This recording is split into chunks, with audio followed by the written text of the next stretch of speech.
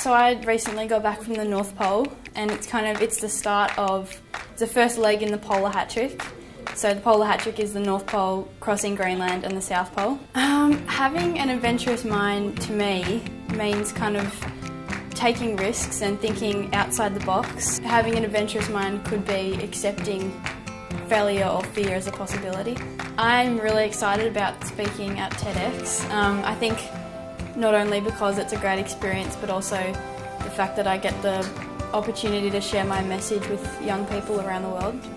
I mean, if people have like a dream or a goal that they want to achieve, I think definitely work hard towards it, um, but also have belief in yourself that you can achieve that.